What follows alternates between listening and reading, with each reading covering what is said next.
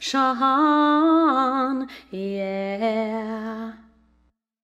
One happy birthday dot com.